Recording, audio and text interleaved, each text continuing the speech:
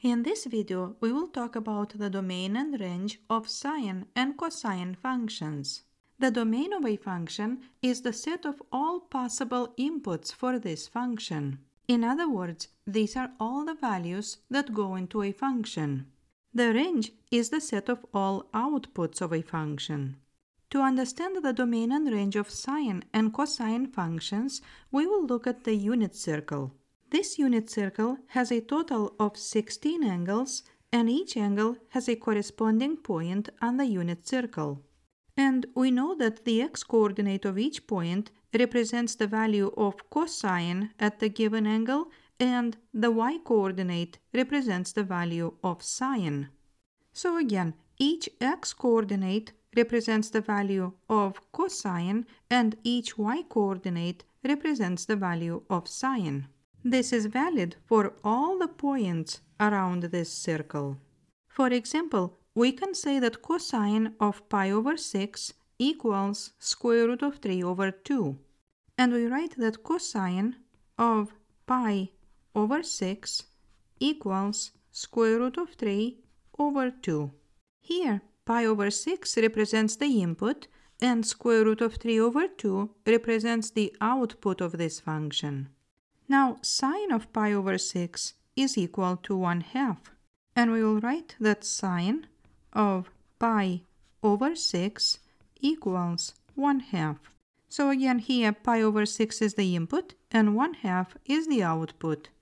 Now pi over 6 is just one value from the domain of sine and cosine functions, but let's see what other values these two functions can take. This unit circle has a total of 16 angles, but we can draw any other angles too, and each angle will have a corresponding point on the unit circle. For example, we can draw any angle between 60 and 90 degrees, and this angle will have a corresponding point on the unit circle that will have the coordinates x and y. And here recall that if we move counterclockwise, we generate positive angles, and if we move clockwise, we generate negative angles. So if each angle has a corresponding point on the unit circle, this means that for any angle, we will have a value for sine and cosine. So then, we can say that the input for sine and cosine functions can be any real number from negative infinity to positive infinity. Then we will use interval notation to write that the domain is any number from negative infinity to positive infinity. And this means that we can use any real number as the input for sine or cosine functions and we will always get a value. Now, let's talk about the range of these functions. The range is the set of all outputs of a function. First, let's take a look at the values of the sine function to see how they change as the angle increases. I will write the coordinates of these points in decimal form. Here, square root of 3 over 2 is approximately 0.87 and 1 half is 0.5. All this will help us better visualize how the values of sine and cosine change. So let's take a look at the values of sine. Here at 0, the value of sine is 0. Then as the angle increases, the value of sine is 0.5, then 0.71, then 0.87, and at pi over 2, the value of sine is 1. So again, from 0 to pi over 2, the value of sine increases from 0 to 1. Now, in quadrant 2, we see that the values of sine decrease back to 0. And in quadrant 3, the values of sine become negative and they change from 0 to negative 1. So at 3 pi over 2, the value of sine is the lowest and that is negative 1. And now in quadrant 4, the values of sine change from negative 1 to 0.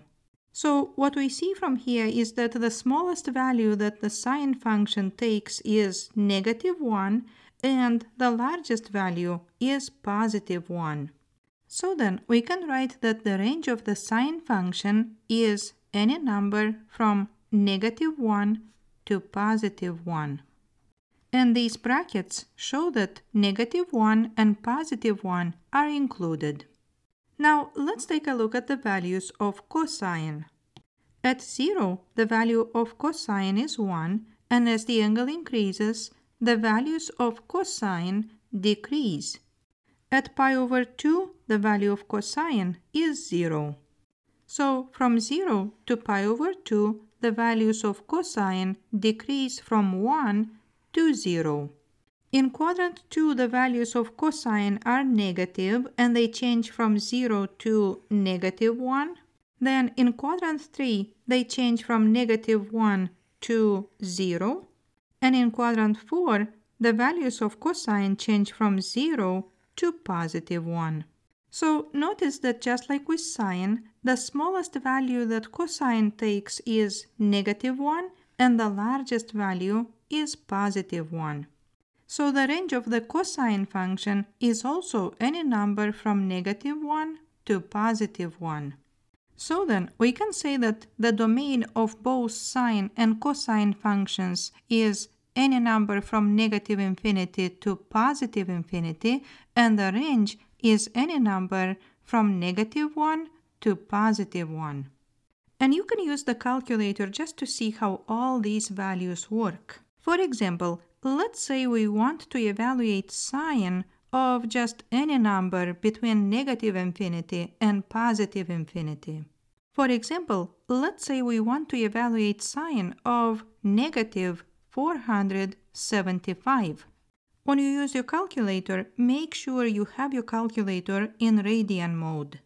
Then the value of this function has to be a number from negative 1 to positive 1. In this case, when we use the calculator, we see that sine of negative 475 is approximately 0.58, which is a number between negative 1 and positive 1. I hope you enjoyed this video. Please subscribe, leave a comment, and thank you for watching.